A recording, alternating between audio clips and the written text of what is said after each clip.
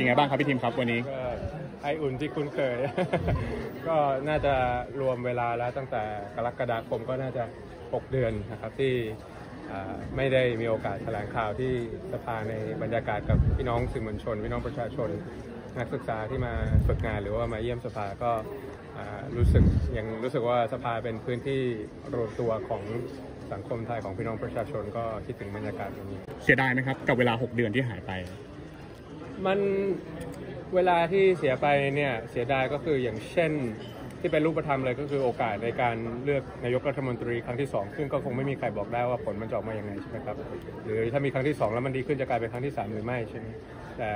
เราบริหารจัดการสถานการณ์ได้ตรงที่ว่า 6 เดือนก็ใช้ในการพบปะพี่น้องประชาชนทำงานกับอ่าเพื่อนสสที่อยู่ข้างหลังในการลงพื้นที่ นะครับพูดให้เป็นรูปธรรมเลยจะได้จบก็คืออตอนที่โดนหยุดปฏิบัติหน้าที่ก็ลงพื้นที่สมุทรปราการกับภูเก็ตสสก็เห็นปัญหาขยะล้นเมืองของทั้งสองจังหวัด ก็จะใช้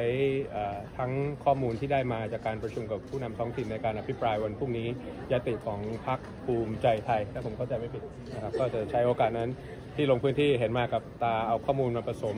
เอาข้อมูลงบประมาณในปีที่ผ่านมาที่เราตามดู ก็จะใช้โอกาสนั้นในการใช้เวลา 7 นาทีในการอภิปรายให้กับพี่น้องประชาชนที่รับปัญหาจากเรื่องขยะอยู่เป็นต้น เพราะฉะนั้นก็ไม่เป็นเรื่องที่น่าเสียดายนะครับ